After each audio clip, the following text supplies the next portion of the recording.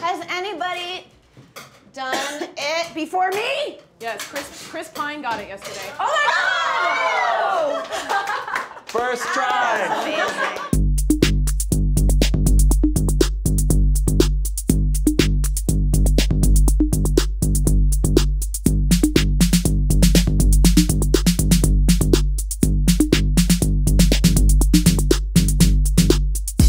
Back is a story about a wife and mother struggling with, struggling with some very complex emotional and psychological demons, and it's about her trying to keep it together for her family. Sounds like the life story of Sarah Silverman, really.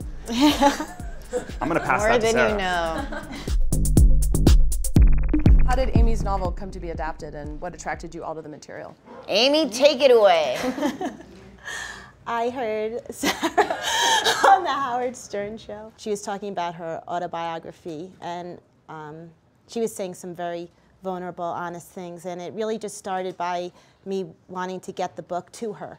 I just wanted her to read it. I never thought she was going to even really read it. So all of this is beyond our, you know, wildest expectations. I didn't. yeah, I knew she knew what it was like to feel that kind of sadness and aloneness. So I just like cried in front of my dog last week. That I was literally like this. I opened my eyes and my dog is like, And Sarah, I'm wondering, why do so many comedians make a great transition to dramatic roles? first of all, comics are in general kind of truth tellers.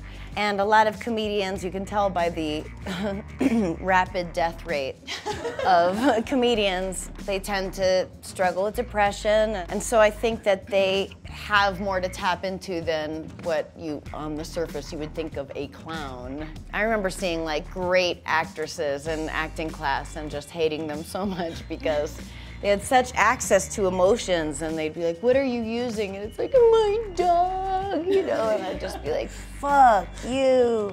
I was jealous of, of that access because I am on antidepressants and I my highs and lows are they're still pretty high and pretty low, but um, my point is what?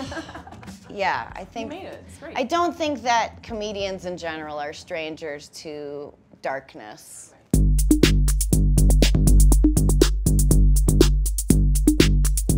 Thank you, Hollywood Reporter!